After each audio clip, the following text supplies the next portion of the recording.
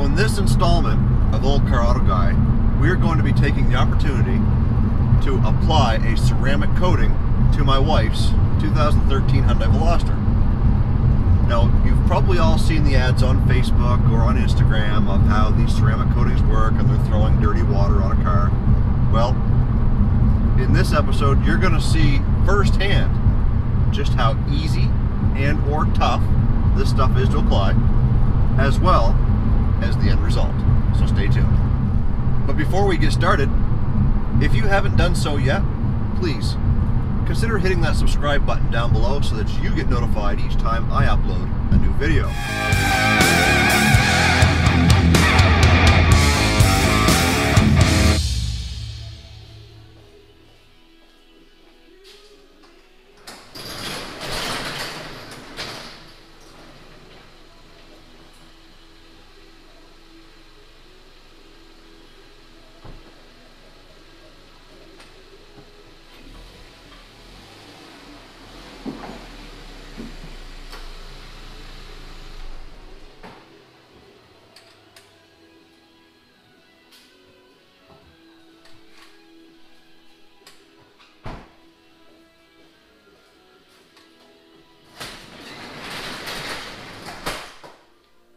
Guys, what we have today is a ceramic coating, which is something that can be found on eBay, Amazon, and it's called Mr. Fix 9H Auto Ceramics. And this isn't exactly a sponsored video, but it kind of is. My buddy Aaron just bought himself a 2018 Ford truck, and he wanted me to be the guinea pig on this product. So he bought two of them, one for me to test out, one for him. Aaron is a buddy of mine, and uh, I don't hold against him the fact that he is a Joey Logano fan, that he likes the Patriots, and if he followed hockey, he'd probably be a Bruins fan too. What can you do? You can't pick your friends, right? Wait, you can, and I did. He's a great guy. So we're gonna test it out on Mama's rig and see just how easy this is. So when you open up the box,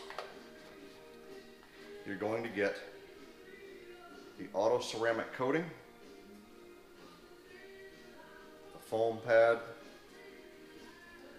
some applicator wipes, and the instructions, but who needs those? So we're going to do this test and we're going to uh, see how it works out. And uh, there's a, there is a couple of steps that we do have to do to prep the vehicle before we apply this. So let's get to it. So very first thing we have to do is wash this, get the bugs off of it, get it all cleaned and dried off. So that's what we're going to do right now.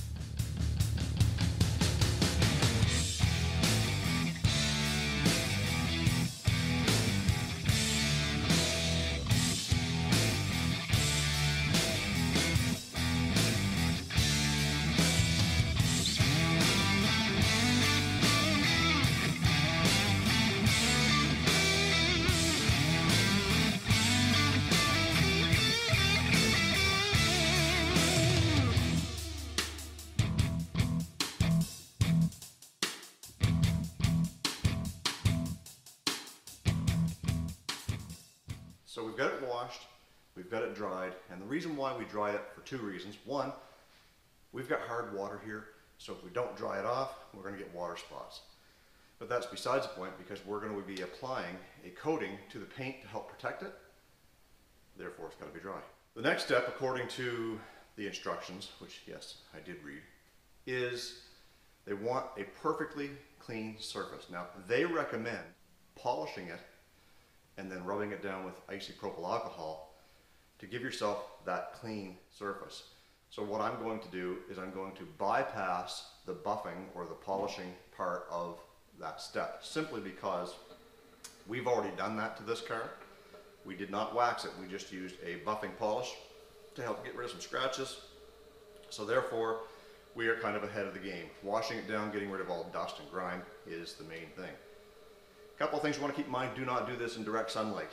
Do not do this on a windy day or anywhere where there's dust because you don't want that dust embedding itself into the paint surface once you apply this coating. So now that we've got the vehicle all ready for the isopropyl uh, wash down, that's what we're going to do next. So I've got my isopropyl alcohol and I've got a clean microfiber rag and we're just going to wipe down the car with, until it hazes and then with another clean microfiber we're going to wipe down the haze.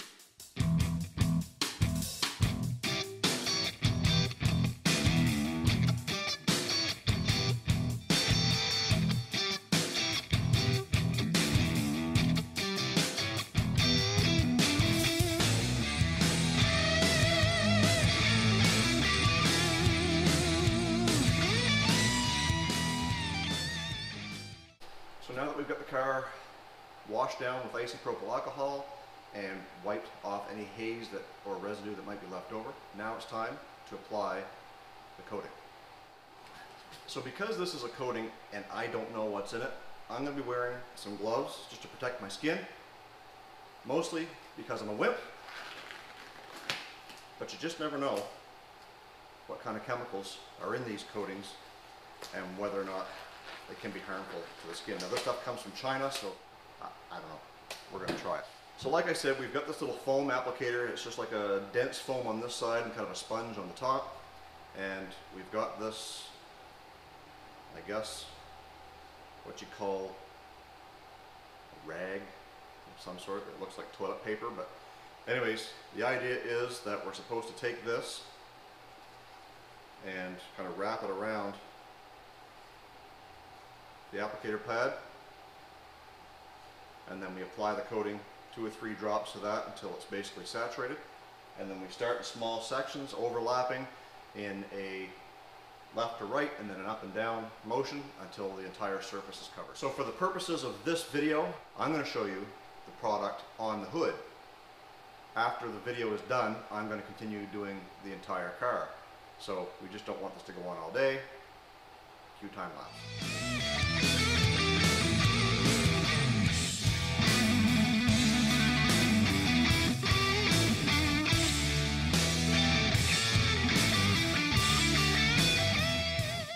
So the instructions aren't really, really clear.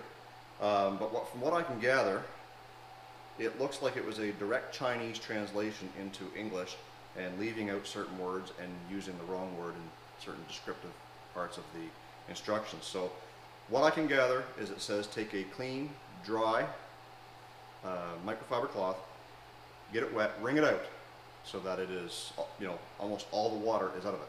And then it wants you to wipe down the ceramic coating in circular motions. And then once that is done, you go back with a dry microfiber cloth and wipe down any haze that's left over. So I guess that's what we're gonna do now.